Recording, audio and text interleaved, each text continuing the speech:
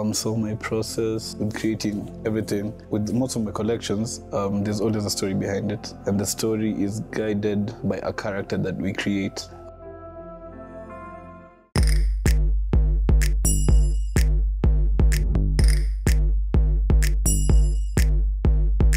I'm David Nyankuru, um, but my designer alias name is Daudi. Yeah, I'm a visionary in Nairobi.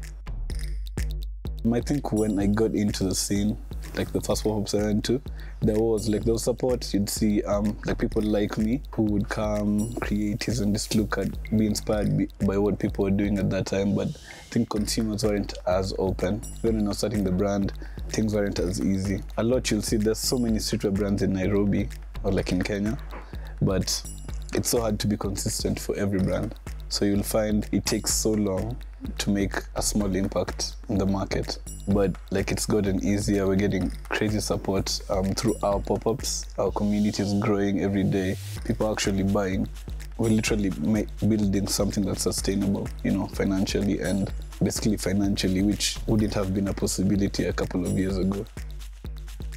So we create a character, source out fabric, see what works, see what doesn't, because also the infrastructure here isn't there. You can just think of something and um, get it. So see what's there, see what's not. Draw a few sketches, sample stuff with our tailors. Yeah, then make the stuff.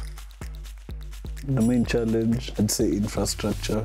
With my brand, I'm personally like I'm competing with the, globe, like everyone in the world. So us not having systems that allow um, for certain things like sourcing certain fabrics certain technologies that would make it like making of making certain things, certain prints on garments that makes it really hard in building your brand, you know, like your vision. So most times when I'm designing, I'm designing off of what I can I think I can find not like exploring my mind and just making whatever I can. So it like reduces the whole creative process. I was inspired by such, something that was so small. Even in the pop-ups, like, because we have really young people who come, and they're like, "Yo, inspired by this." I'm like, "Yo, if we're doing this, like, if we're doing events this big, this is our crowd now. How like how crazy will your stuff be in five years? You know?" So I think everything will be really dope, and in the future, and we're glad to be pioneers in that perspective.